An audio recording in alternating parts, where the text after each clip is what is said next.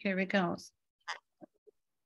Use that I, I got it, the recording in process. So a process, as I say up here in Canada. So, um, so I'm Gael Hannan, just in case you couldn't tell us apart.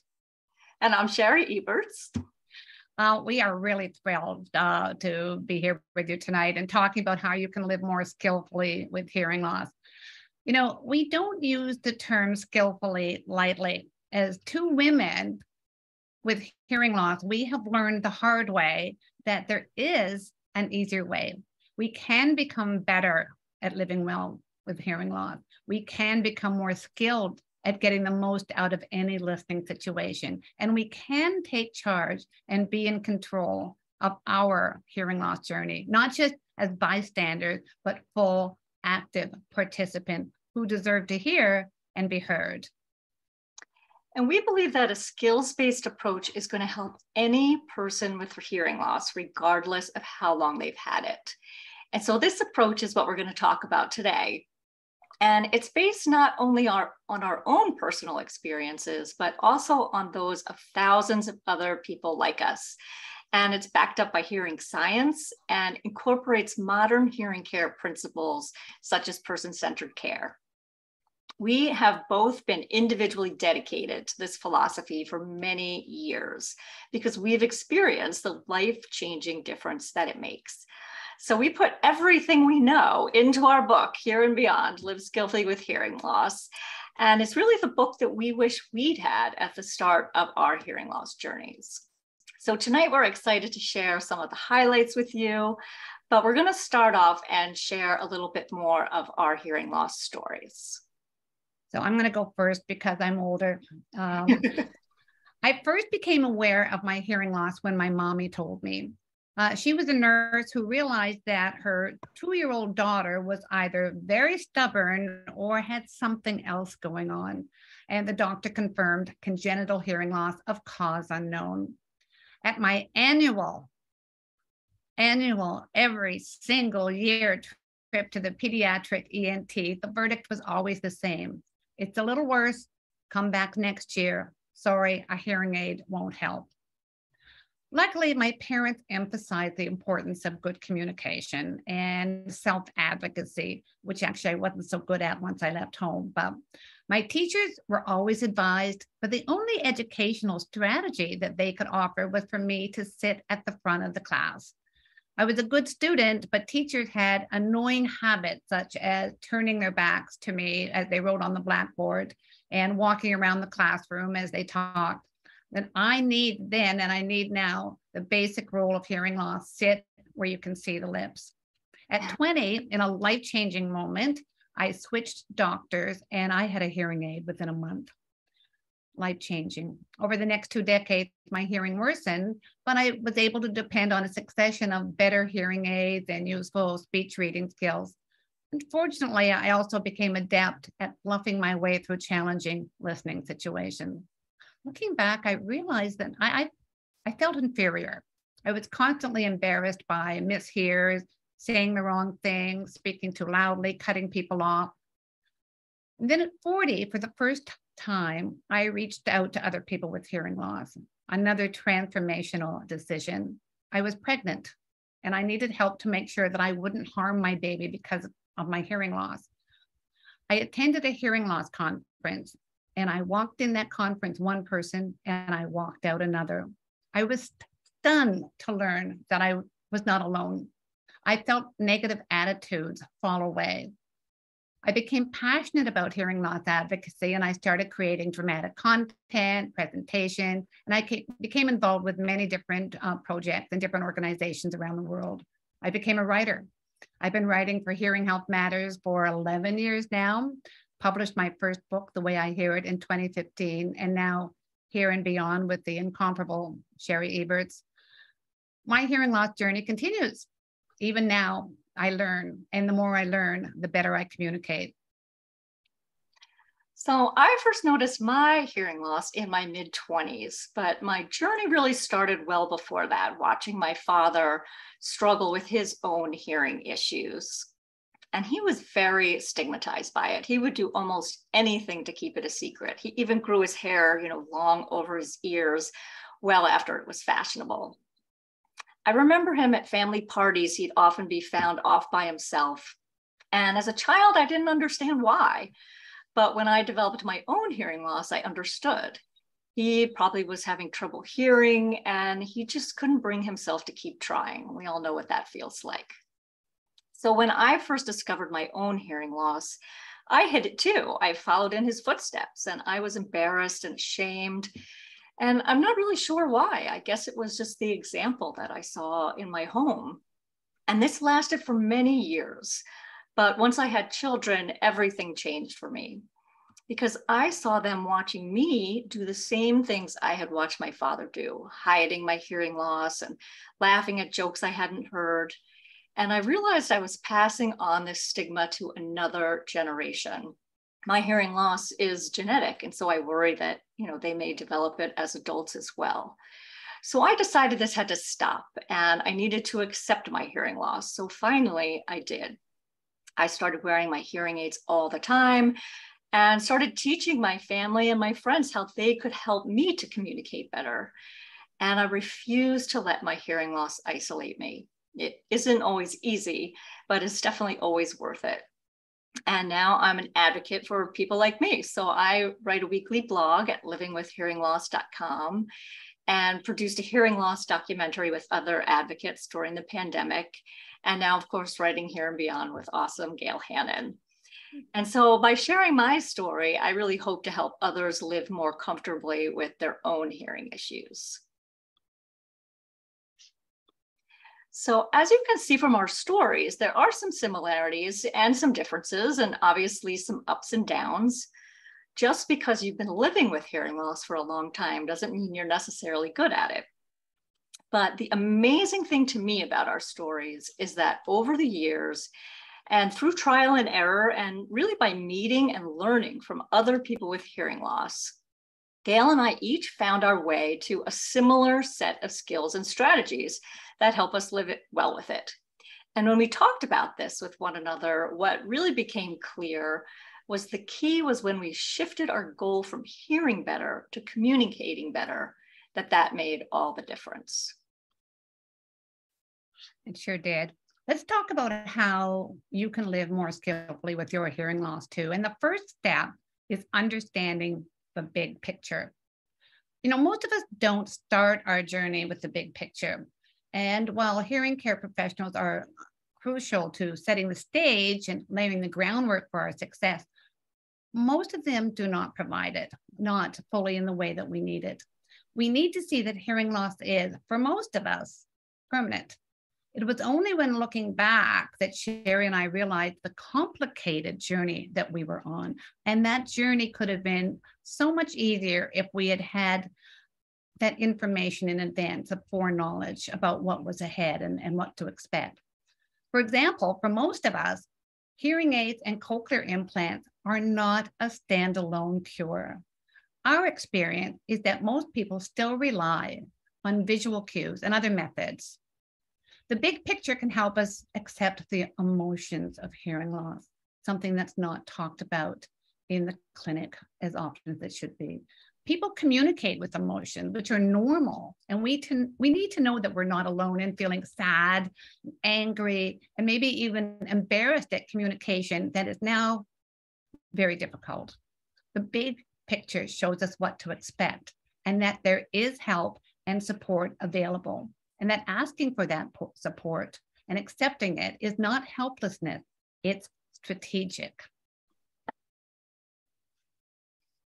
So we've spent a lot of time, Gael and I, talking with other people with hearing loss. And, you know, while every hearing loss is, is unique, every journey is unique, most people pass through a series of typical stages. And so we've laid those out for you here. And the first is debating with yourself.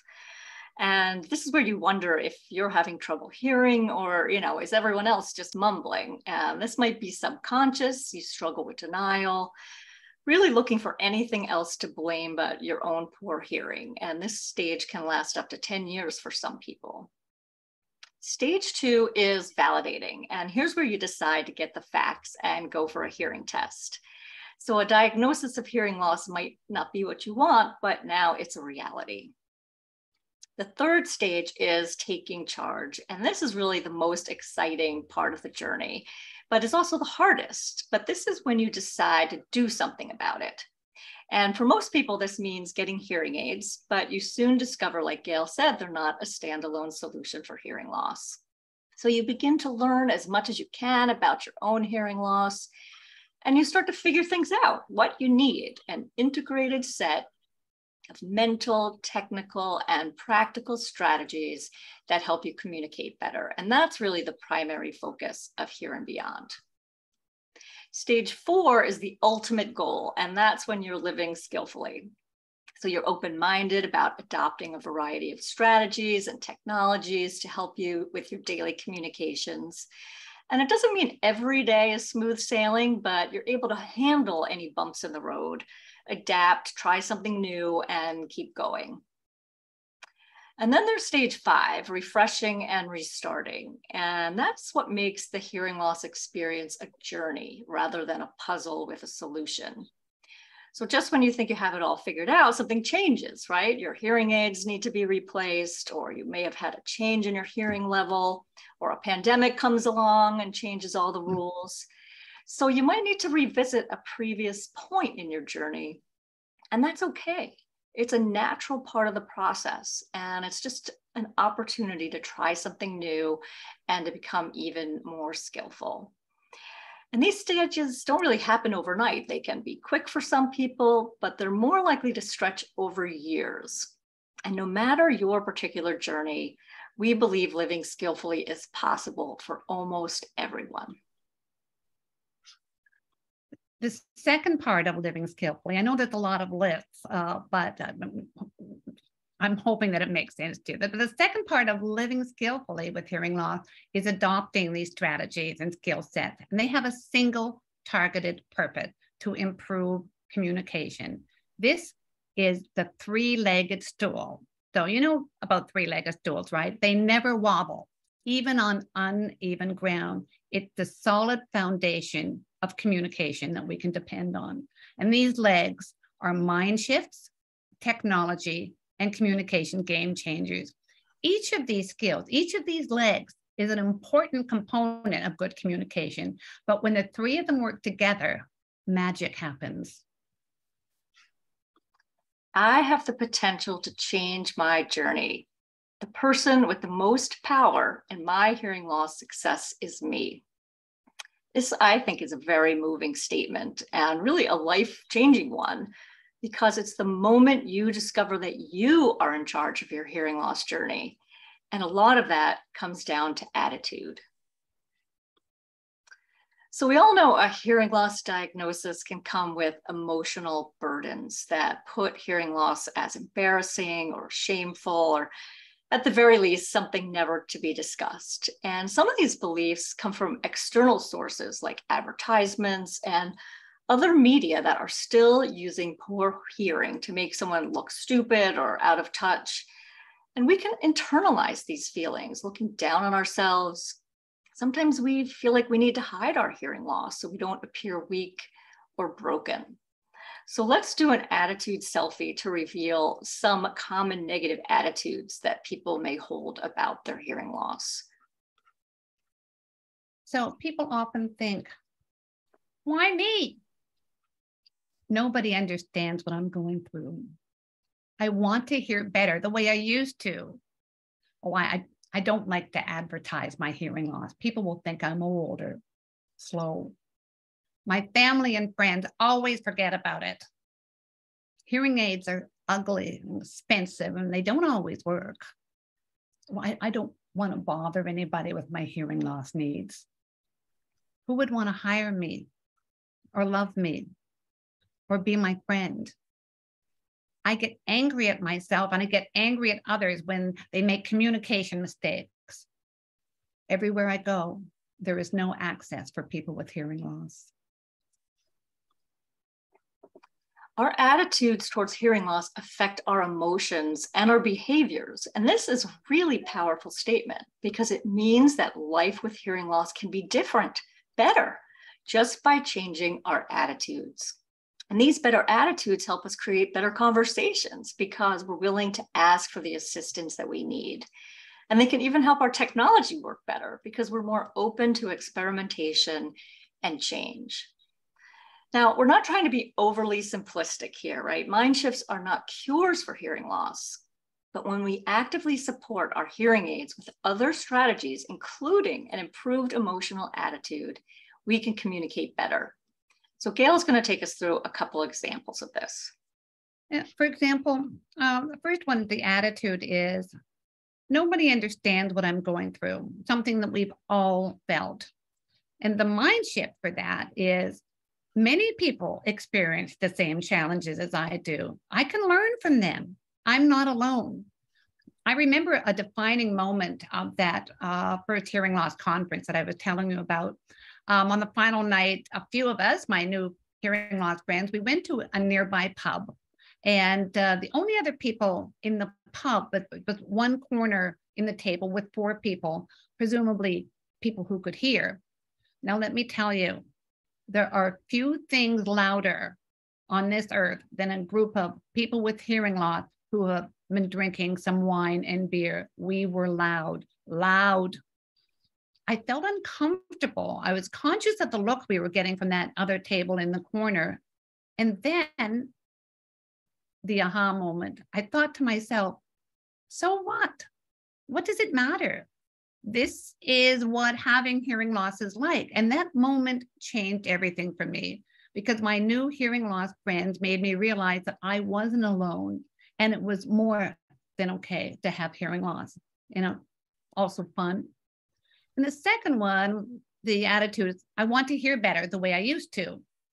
And the shift is I want to communicate better.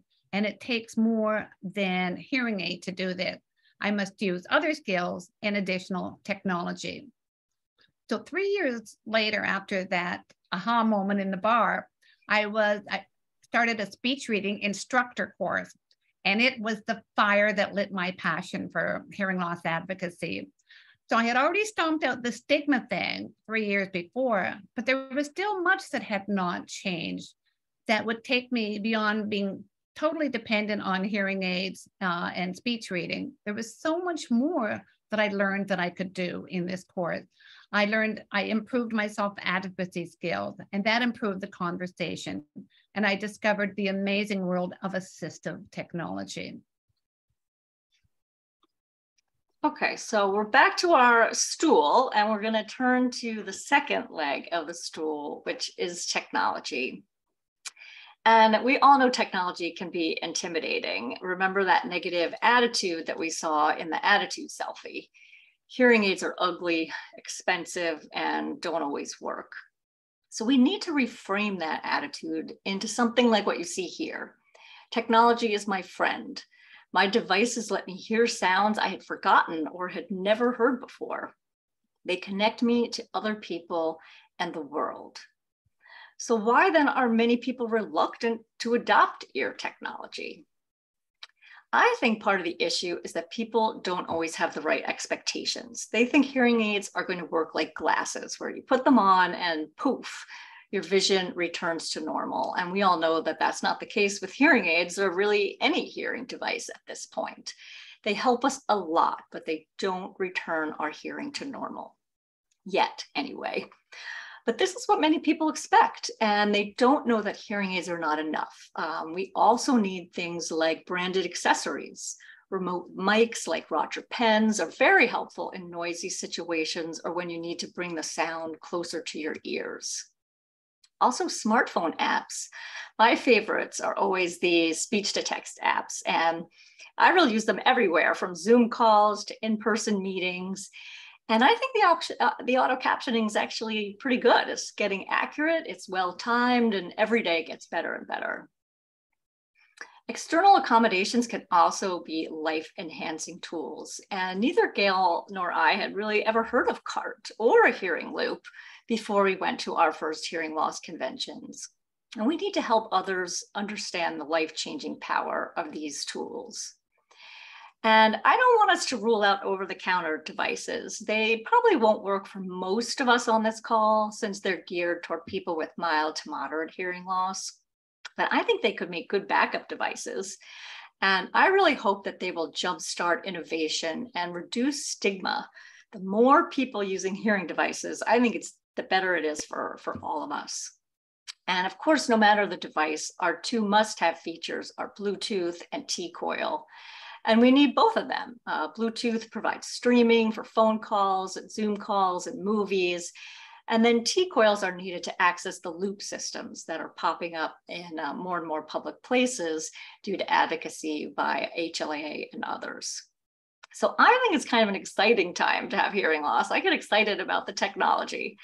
But sometimes we need more than the technology, other strategies, the non technical type.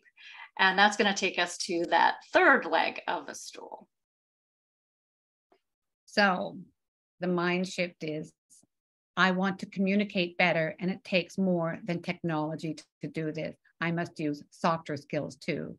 These are communication game changers you know, sometimes even small changes in communication behaviors can have a huge impact on the quality of conversation.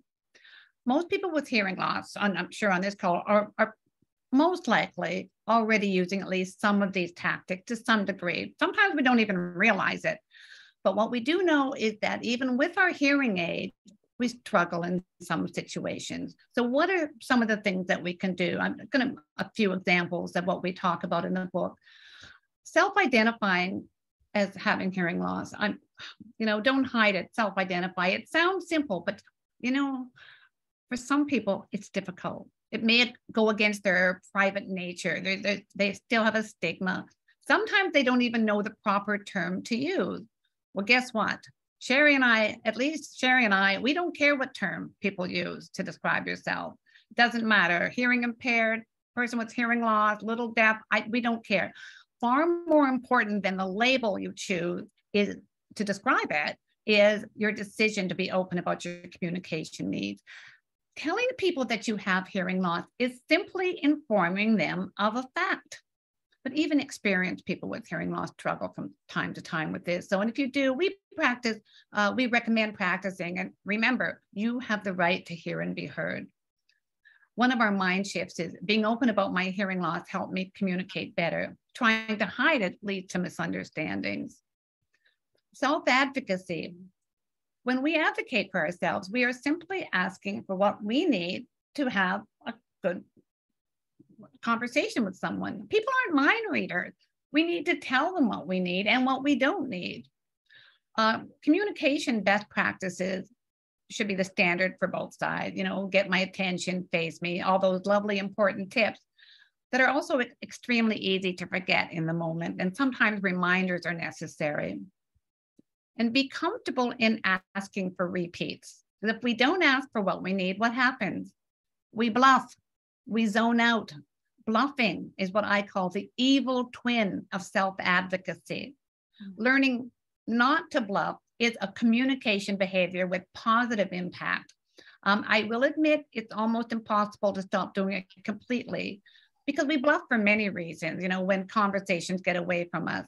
Sometimes we even deliberately do it. But rather than becoming a better bluffer, why not become a better communicator? And we have now our favorite tool that uh, Shari's going to tell you about.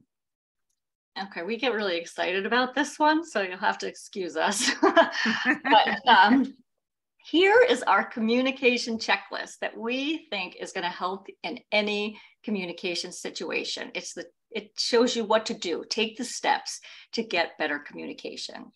So the first is hearing check. Can I understand what my communication partner is saying? And if the answer is yes, then hallelujah, and you're done. But if no, you move on to evaluate. And here's where you think about what do you need to improve the situation. And these could be things in the environment, like more light or a different seat, but they could also be communication partner issues, like they need to speak louder or slower.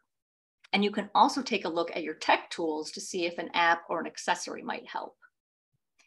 The next part is to articulate your needs. And this is often the hardest part, telling others what you need from them.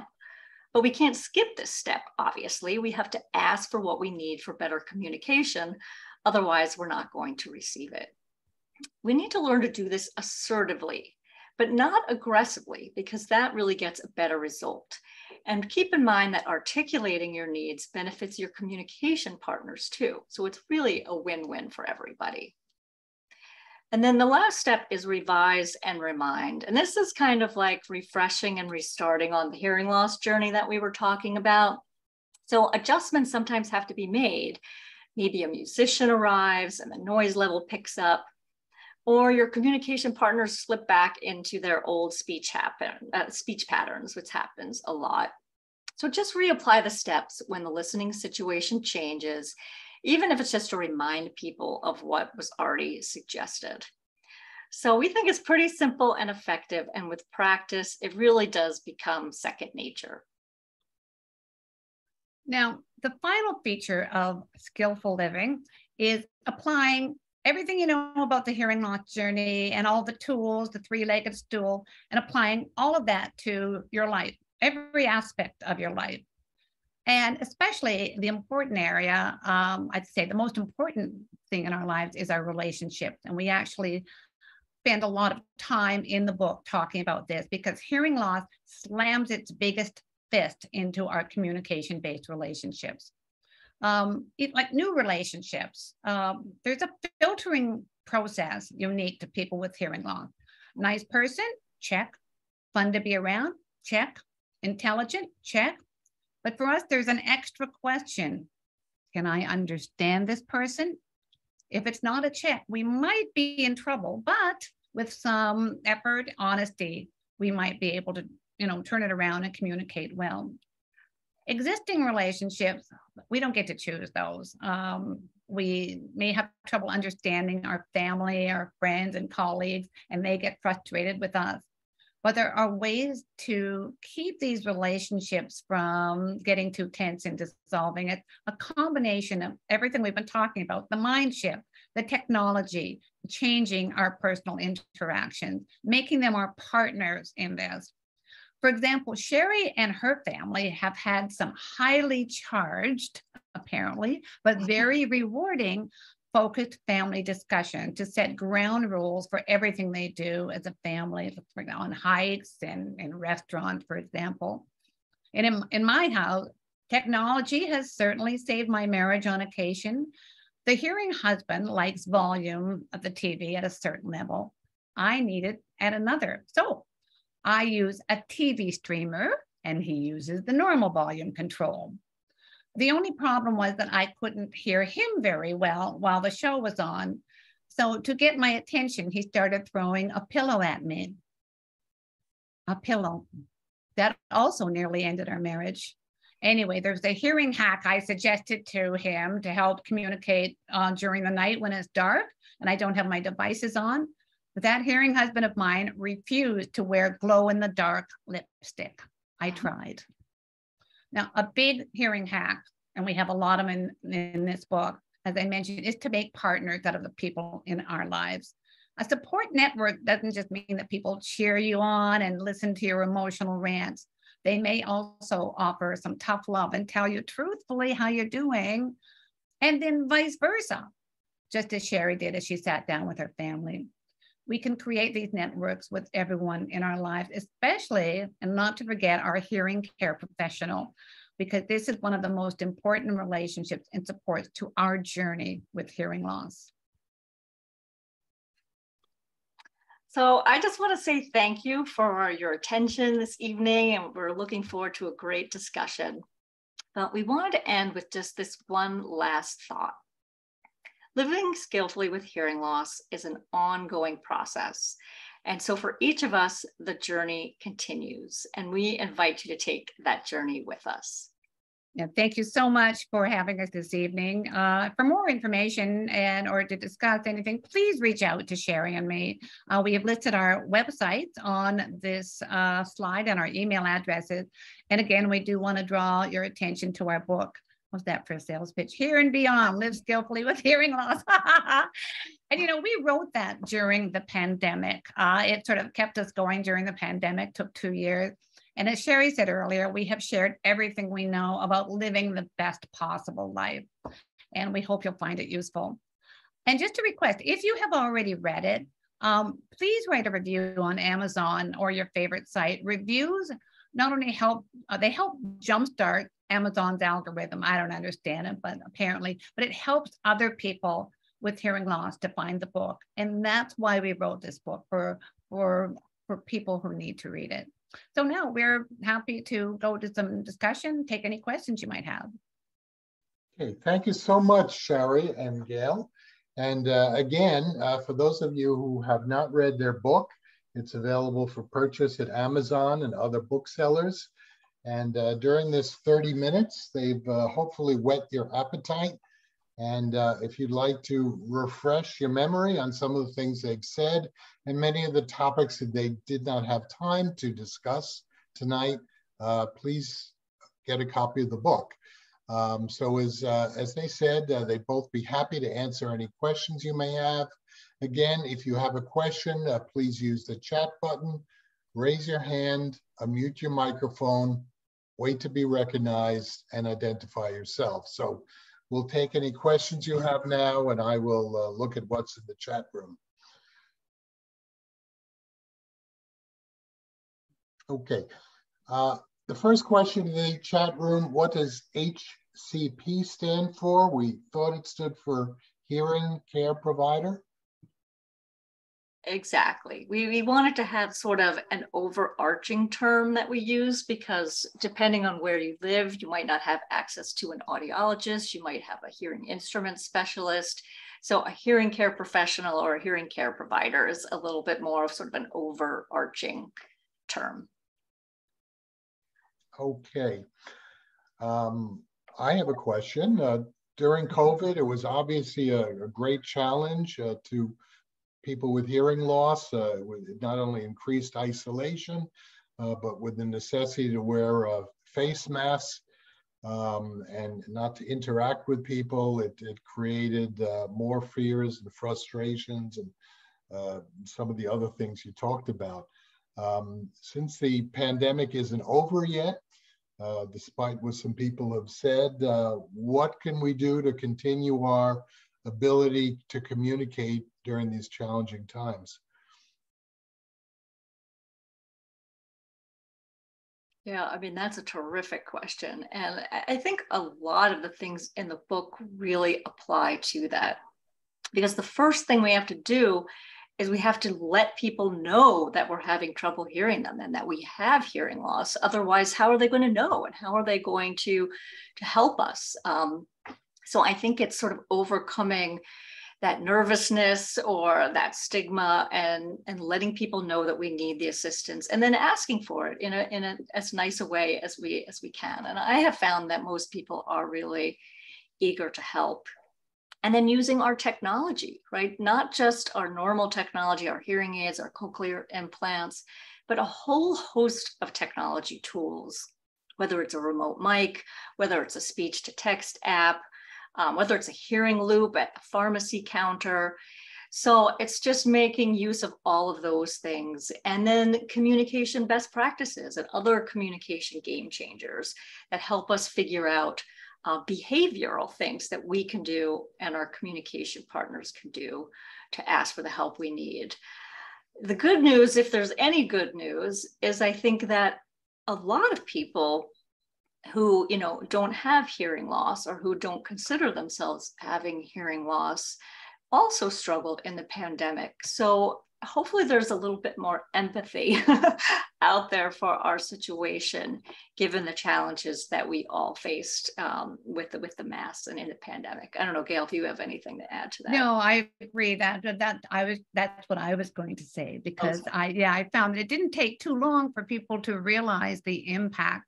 Um, but I know for me personally, and I heard other people say this that those early days of the pandemic, I was panic stricken. It threw us back to a time when we didn't have any of these tools. And I think it made me take stock of what I needed and to reassert that. Like it was very hard for me for the first few times in the grocery store to turn to my husband and say, What did they say? And I had to, you know, sort of refresh and remind myself of what I needed to do. So um, nowadays, because of you know, people don't, ha- I had, I have hearing loss, and people go, "Oh, no problem." When you stand back, pull down the mask, and yeah, get better. Okay, a couple people have their electronic hand raised, so let's start with uh, Jerry in Colorado. Uh, you're I'm, unmuted. I ran across something that has um, really helped a lot of people um, in the met when you're dealing with the medical profession. Is every time you say they want your name and your birthday, just automatically let it roll off your tongue that I have a hearing loss. And I don't care if they hear it a dozen times, that's better than not hearing it at all. And one of the times helps. And if you get used to doing it, it is not, it's not really a problem. It's easy. Okay, thank you. Any comment, uh, Shari or Gael? Uh, if, if not, we can uh, move on. Karen uh, Greenberg has a question. Uh, Karen, you've unmuted yourself. Yeah, thank you. Um, you know, I understand we have problems in restaurants. I recently went to a party at a restaurant, and there were a lot of parties going on in this restaurant. My friends were very accommodating. They know I have a hearing problem, or I mentioned that we came late and I was at the end of the table, and there was about 10 people. They did move themselves around, so I was able to sit close to the birthday girl, but I still find I'm single sided hearing and I have Phonak across. And I just find that the hearing aid, especially on the microphone side, I have to take that off. I hear too much of the extraneous noise, and it's still everyone's talking at the same time. You can't concentrate and focus on any one conversation. And I do find what I don't know the term you had used, fluffing or muffing, muffing, bluffing, bluffing, muffing, bluffing bluffing. bluffing, pretending you understand when you oh. haven't got a clue. Yeah. No, I don't bother pretending. I just sort of go in the background. I just can't concentrate. And I avoid these situations where there's multiple people talking. Even my book group, when we come to someone's house, everybody talks at the same time. Too many different conversations going on. I guess I just have to keep repeating and I try to ask them, can we have one conversation at a time? It doesn't seem to work. Everyone thinks for themselves. Well, you know, you've just, um, Karen, described the uh, most impossible thing in the world, and that's to to get a group of people to talk one at a time. Um, they they mean well and they want to, but we respond instinctively to comments. So um, and sometimes when you say you avoid situations, sometimes you have to say, you know what, a birthday party with 15 people in a restaurant, it's just not really going to work for me. So sometimes we have to maybe if we can be help choose the venue or we can choose the size of the event, take charge as, much as we can. Um, but there are some things that um, that do that you that aren't going to work under its um, the way it's set up, you know, in a restaurant noisy. So unless Shari, you've got some super hearing hack.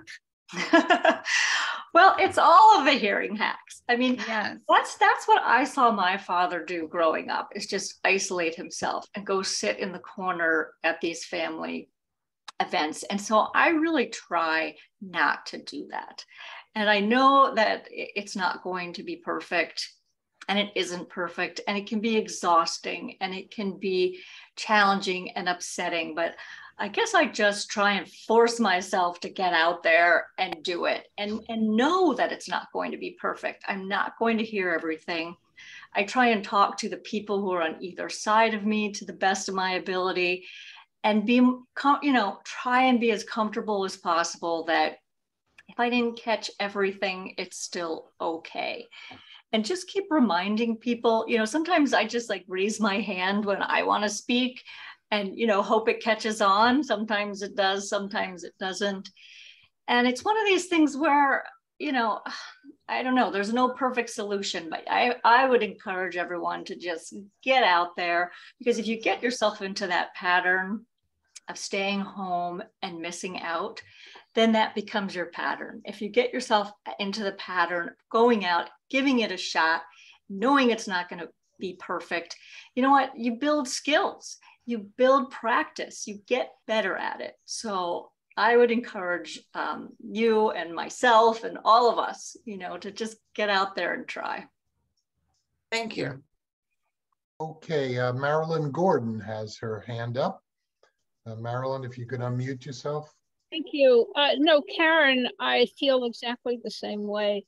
It's very frustrating. Um, uh, yeah, forget, you know, go to lunch, count on hearing one person if they're facing you but I find also in like house parties, you know, and I, and I'm talking about adult party, you know, where it's conversation, you know, and there are this group of people, this group of people, this group of people having wonderful conversations. I can't understand any one of them because they're all distracting.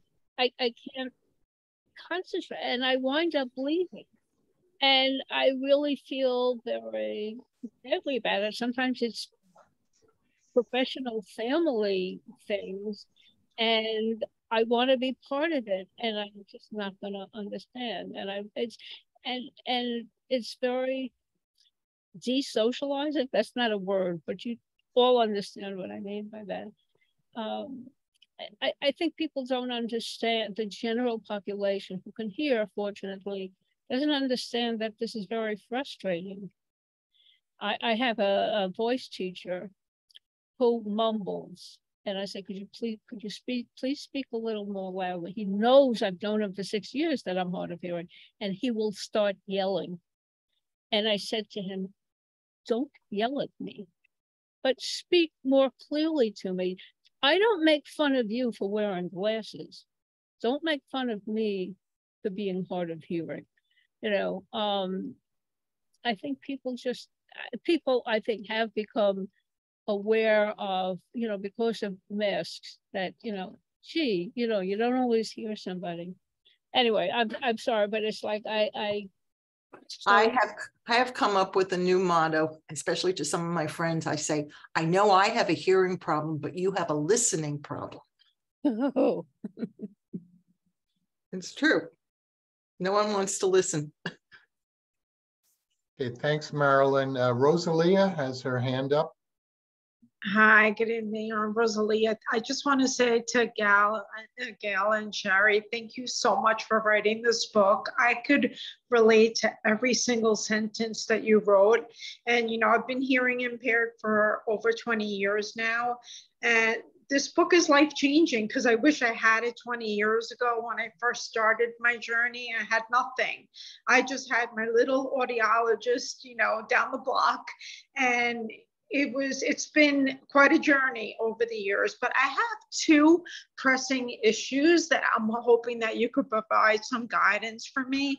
Okay, so currently I stream um, the hearing from the hearing aids to uh, you know through zoom on my hearing aids through the bluetooth okay i am looking for a laptop not an ipad where i can have it being compatible to my hearing aids on the bluetooth so I have not been able to find that. My husband, we just bought a Mac Air Pro, not compatible with my hearing aids, which I find shocking because it's an expensive device. But yet the iPad is compatible with my hearing aid, which I find really frustrating because I really want a laptop. I don't want the iPad because I do a lot of Zoom meetings. So that's my so I don't know if I should call the manufacturer of my hearing aids, which is Starkey, and find out if they can tell me if there's a laptop out there that compatible with my hearing aids because they're Bluetooth compatible. They're state of the art. They're, you know, they're pretty advanced, these hearing aids that I had. I'm just so frustrated because I do the Zoom meetings on my phone because that's the easiest thing for me because it goes right into the hearing aids and I hear it perfectly. Um, so that's my first issue. And then the second issue I have is I'm a runner and I have to wear the hearing aids when I run because I do marathons, I do a lot of races, and I cannot wear them and sweat with them because they don't work. So I find that I have, I bought the sweat guards for the back of my ears. I can wear them for the first three miles, but if there's an emergency at the race, I just got to follow the crowd because I can't put the hearing aids back in because if they get wet, they don't work. So, uh, you know, it is such a difficult and frustrating journey, but your book has helped me so much because I am standing up for myself so much more now. You know, when we people say, uh, you know, when I tell them, I'm sorry, can you repeat that? I can't hear you. And they say, oh, don't, no problem. You know, it's no problem. And I say, I want to hear what you're saying. Can you please repeat it? And it, it's a journey, but I find that speaking up for myself really has changed a lot. Um, but there are situations where when I get home, if I have to work hard at hearing, I come home exhausted because I'm just like, oh my God, that was a lot of work for me to listen. Like people don't understand you have hearing loss, but you can't hear perfectly. So I've had people say, well, aren't, your hearing aids in? I'm like, yes, but it's not the same. I feel like part of the process is educating other people because they think you have hearing aids, you should hear perfectly. And that's not the case at all. I mean, I can hear more than I did without them in, but it's not a perfect science. Um, and I think that's part of the process is educating people to let them know it's not perfect. You know, I still struggle hearing, even with the hear loss, hearing loss and the speech reading, it's still an issue. So if you can just provide me a little bit of feedback with the whole laptop thing and if I could, if I should call the manufacturer Starkey and try to find out if there's a, um, a laptop that I can use with the hearing aids. I'm sorry it went on for too so long. I appreciate it. Oh, that's terrific. Uh, I'm so glad the book is having an impact like that and good for you. Like, go for it. good for you for standing up for yourself. Um, in terms of the laptop, I mean, maybe you've already done this, but I might start with Apple first because they do have really good assistance in their stores. You can make an appointment and they might be able to work with you to try and connect it because it is very surprising that it wouldn't. And then I think you've got to go to Starkey because I know I have Bluetooth things that I connect to my computer all the, all, you know, my laptop all the time. So it, there might just be some kind of weird setting or some weird thing. So I wish I had the answer for you, but I think you need to go, you know, either to Apple or to to Starkey or maybe both. Yeah. Thank you. Thank you. Good uh, luck. Carolyn Tannen's next, and she was also nodding her head. I think she has some ideas on, on laptops. Carolyn, you're muted. Um, um, speaking of the um, laptop, it's a connector, like a, a microphone clip or microphone adapter that you could plug into your laptop and then turn on your T-coil. Um, so that's an option that that just in response to that. Um, I would I wanted to piggyback off um, Gael when she was talking about being in the restaurant talking very loud. Um, I'm having that that issue now with my family. Um, they they just don't like it, you know, that I'm always talking loud in public. And I'm like, who cares what other people think? You know, you understand that I I'm not doing it on purpose you know, I, you know, so I have some people, friend of mine, hearing friend of mine, uh, my best friend, she don't care. They don't care about what other people think, you know. The only thing you have to worry about is the people that you're with, you know, and that they understand. You know, I would try not to worry about it, but, you know, it bothers people. It, it does. by the, I'm sorry. go ahead. No, no, no, go ahead. I mean, you know, there, there's no perfect answer, right? I mean, one thing is if you can just like have a, a signal, you know, with your family. So like maybe they just yeah, like small fucking warm up too. Make a little signal, like a visuals. I think I think Melanie, you're not muted. Uh, you know, that way they can give you that information in a less confrontational way, maybe it won't make you feel so bad. And then you get the information and everybody moves on. You know, I don't know if that would really do it or not. It's hurtful. You know, it's hurtful when your family, you feel like they're the ones that should understand and support you the most. And it's hard when sometimes they disappoint you and, and they do. I just Yeah, kind yeah. remember, you know, that the times when they don't, right? Because they're you're around them the most. So they have the most opportunities to disappoint. I think that was because during the pandemic, I was relying on a family member because of the mask, you know, being in public, and it got to become burdensome, you know, and you know, hopefully now that things are get, um, getting better, you know, things will change. Yeah. By the way, I have the book. I didn't read it yet. Um, I will take put it in my bag, and I'm taking. I'm commuting again now, so I'll read it on the train. Awesome. Thank you. Great presentation. Thank you. Okay, Arlene Romoff has a question. Hi, yeah, thank you. This is great to finally uh, see you and get to chat a little bit. I wasn't able to go to the HLAA convention. I missed that, but of course I bought your book immediately. I think, yeah, it was back, you know, the initial order, so I, I had to have it. And I just want to say I'm, I'm no novice to hearing loss. Uh, I go back um, 50 years as an adult. I but I lost my hearing starting at around age 20 for 25 years before cochlear implants were on the scene. And then I went to cochlear implants. So 25 years of each. And what you write about was so needed to be written about. You know that, of course, I wrote two books on my cochlear implant experience, but the focus was not on what you were doing.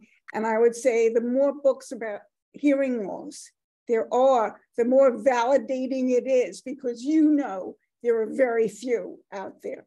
There really are. And it just needed to be said.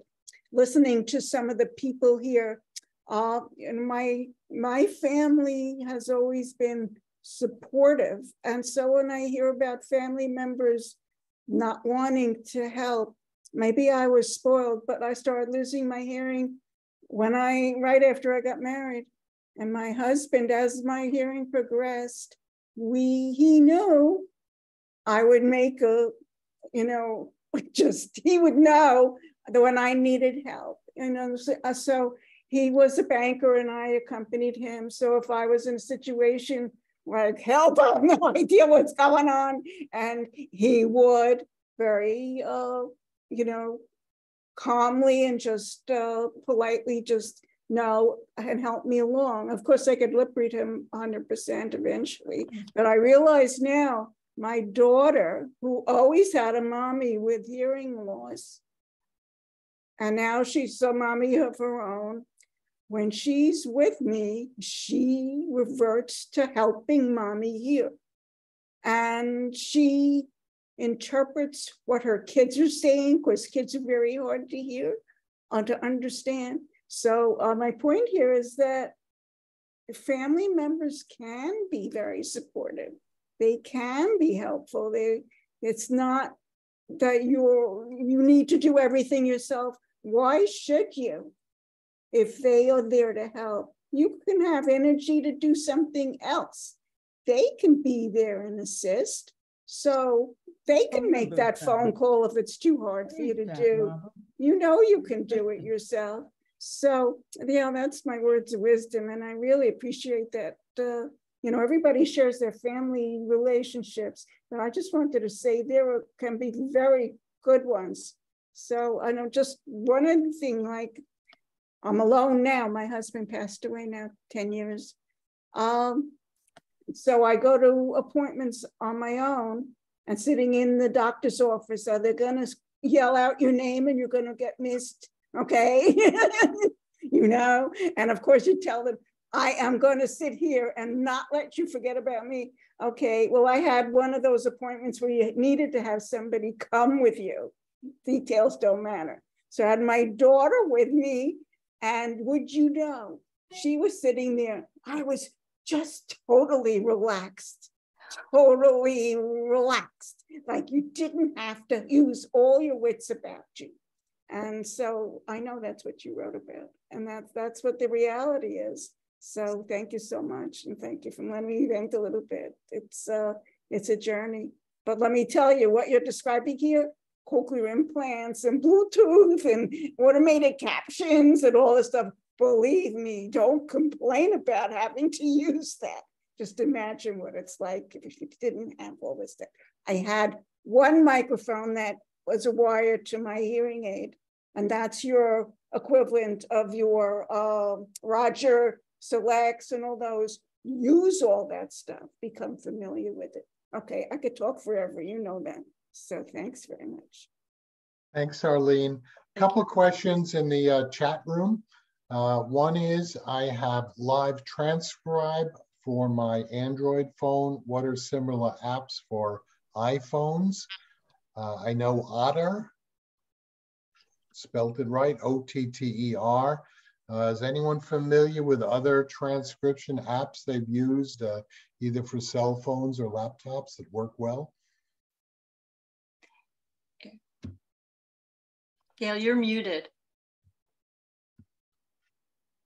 Apologies, apologies. I like NAL Scribe, National Acoustic Laboratory Scribe, just because the, the print is, is really good. Um, but I also, also like Otter as well. Um, and um, there are just so many new apps out right now, um, but, but those are the two that I use. Yeah, and one thing that just came out on the new iOS, and I haven't really even had a chance to test it yet, is that there's something that they're calling, I, I think it's live transcript. I forget what it is. They all sound the same, but it's basically built into the accessibility area of the iPhone, similar to the way it's built into Android phones. So it's in beta right now, but it's going to be able to give you automatic captioning on Facebook and also on you know other aspects of your phone when you're making phone calls. So the good news is you know it's coming right? It's getting better like arlene said right? Like it's just it's getting better and better. So that's something that's definitely worth looking into. It's still in beta right now um, but eventually that'll be there too. Fantastic. I know uh, apple's been doing a lot of work on their iphones uh, on on health issues and uh, you don't have to have their latest phone to use many of them. If you update your software, you will have access to them. Um, another question in the chat box, uh, have you worked with anyone or do you know uh, any hearing loss professionals who work with people when hearing loss is attributed to cranial radiation following removal of a brain tumor? And there is also cognitive damage. Oh, goodness. I'm not able to comment on that. I'm sorry. Yeah. Okay. I think you need to uh, to speak your to your ENT about that. Um, would probably be the best source. Yes. Um, I'm just looking at other uh, some comments. AVA is another app for smartphone captioning. AVA. Um, uh, laptop compatibility made for iPhone hearing aids were designed to work with Apple products. Uh, there are workarounds. You could use external speakers uh, with your laptop and you could put your mini mic in front of the speakers. Uh, there may be adapters that you can use to connect with your laptop. So I think it's a great suggestion. If you have an Apple product, go into the Apple store. If you have another product, uh, try to contact your manufacturer. Uh, just looking to see, uh, Charles Cantor has his hand up. If you could uh, unmute, Charles. How you doing? I'd like to comment uh, on the iPhone new updated software, which includes a built-in uh, captioning I've been fooling around with it for the last couple of days mm. because the update just came to me uh, two days ago. And I can tell you that it is absolutely terrific. Everybody should try it. Uh, in the iPhone, it would not be an added app. It would be a built-in feature. And I find it much easier to use and uses much less broadband uh, on the phone. So try it. Thank you, Charles. That's awesome. And I, I saw that Sherry Parazzoli put in the chat that that it's called Live Listen. So I was not, I think I, I said the wrong name. So thank you for that, Sherry. Yeah. Okay, I'm looking to see if there are any other questions, hands raised, or in the chat.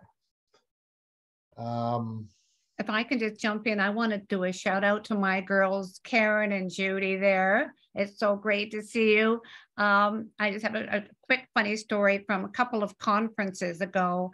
Uh, Judy says, I have your book and I haven't read it, but I have your book. It's upstairs. And before I came downstairs, I just opened it up and right in the middle.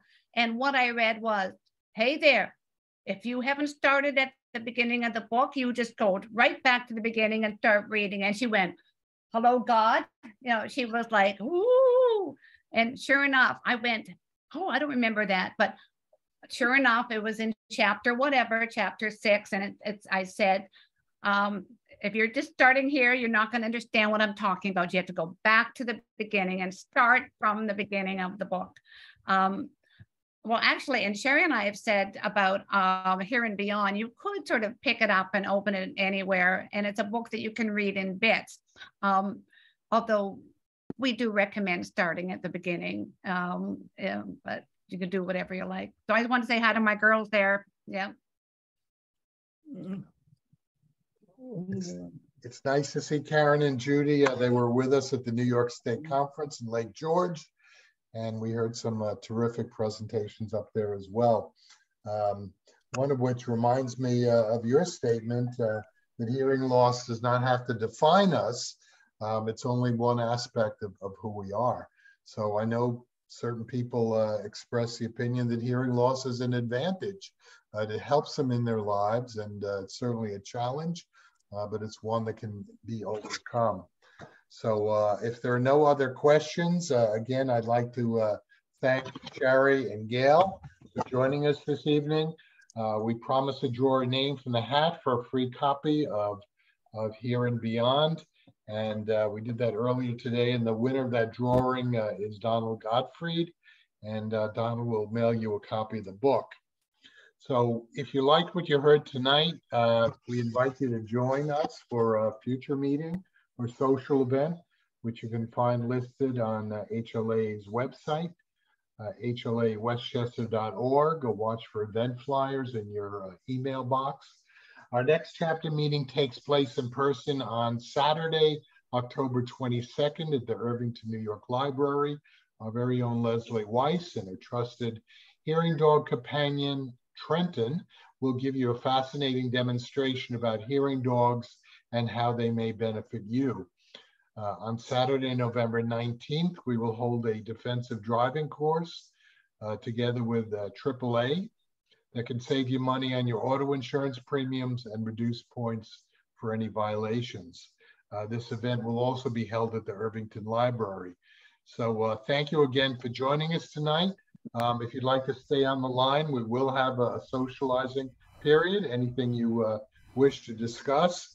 Uh, if not, uh, I'd like to wish all of our Jewish friends a happy and healthy new year.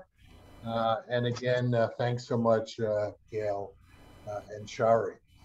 Well, thank you. We just want to say thank you for inviting us. It's always a joy. Um, and thank you for those who've given us great feedback on the book. And just um, a, a, plea from us that um, please get those reviews on Amazon because it helps other people. And that's what we want to do. So thank you so much. Thank you so much. I just thank you. Would would anyone else like to speak? But yes, hi. I finally got a microphone and a camera. I just I got home just before the start and I wasn't set up yet. Uh, I want to mention that uh, I noticed in the transcript uh, you mentioned the uh, New York State conference we just had. If you want to see the pictures of it, there's a, there's about a, over hundred pictures. It's on the hearinglossnys.org. on Facebook. And the, on the, Facebook. the drop down under the New York State Conference. And, and then the, on that page, there's a pointer to where all the pictures are. And uh, there's pictures of Justin uh, playing his violin and all that other stuff. And uh, yeah, it's a pretty good uh, recap of, of the whole c- convention. So uh, appreciate you showing up for that, by the way. Thanks. Thank you, thank you both for sending those pictures. I posted it on the website yesterday. So everyone take a look at the pictures. They're fabulous.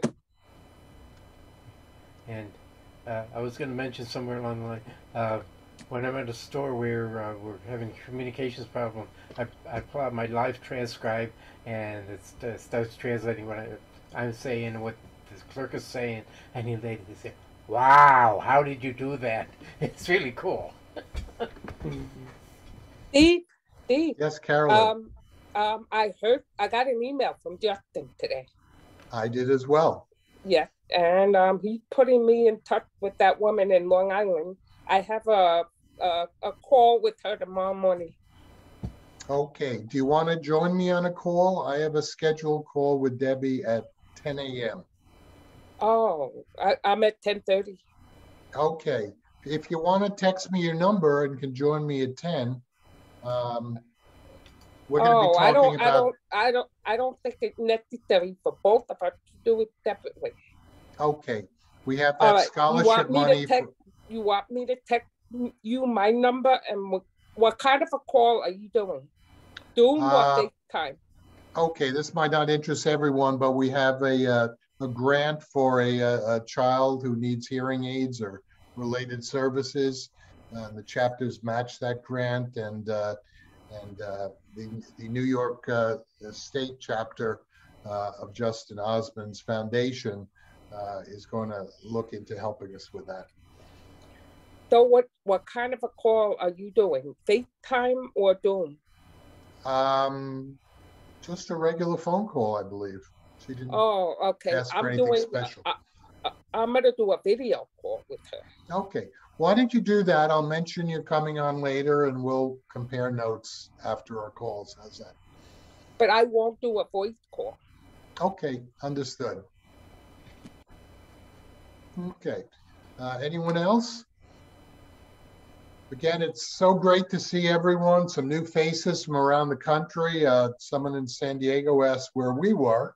Uh, for those of you who don't know, Westchester County is about 30 minutes north of New York City, and uh, we love it here. So uh, hopefully you can join us for future meetings, and we look forward to joining other chapter meetings as well uh, that are publicized through the leaders group as well as on the HLAA national uh, meeting calendar.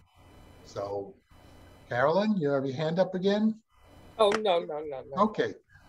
Um, all right, great. If no one, Robert?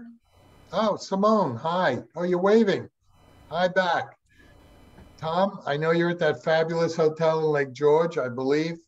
Enjoy the rest of your stay, but be sure to come back. We need you. We'll come next time. Next time. Okay, I'm going to turn off the recording now if I find it, and uh, you're free to leave. Enjoy the rest of your evening. All right, thank Good you. So how are you doing, Debbie? I'm doing much better, thank you. We Good. missed you up in Lake George. Miss I you. know, I, Next we missed time. you too, we missed you too, but thank you, Carolyn, thank you. Um, it, it actually was a great concert.